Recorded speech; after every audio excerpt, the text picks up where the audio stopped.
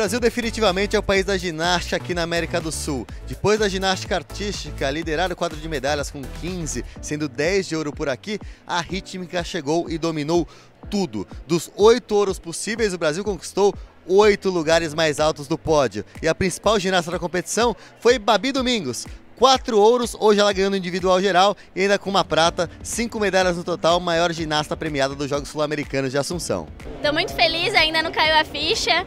É, são quatro ouros, uma prata, então, assim, é, é, inexplicável. Eu acho que isso é fruto de um trabalho que a gente batalhou muito, eu e a minha técnica, logo depois do Mundial. Infelizmente, foi uma competição que a gente não saiu feliz e a gente e ajudou uma outra, carregou juntas isso e treinou forte para estar tá aqui. Nos conjuntos da ginástica rítmica, três chances e três medalhas de ouro para o Brasil. A nossa ginasta mais experiente, Bárbara Galvão, comemora o 100% de aproveitamento. Estamos muito felizes, realizadas é, de estar aqui representando o nosso país nos Jogos de Sul-Americanos de Assunção, poder fazer nossa parte ali dentro do tapete, sair felizes, satisfeitas, aproveitando todo o processo, a construção que a gente fez durante todo esse ano, poder entrar ali e sair felizes com o nosso resultado, não tem preço. Na ginástica de trampolim, quatro medalhas em disputa e também quatro medalhas conquistadas para o Brasil. Um bronze, duas pratas e um ouro, de Camila Lopes, no feminino individual. Mais uma medalha para o quadro de medalhas do Brasil. Estou muito feliz de trazer esse bicampeonato, é, preparando para o Mundial.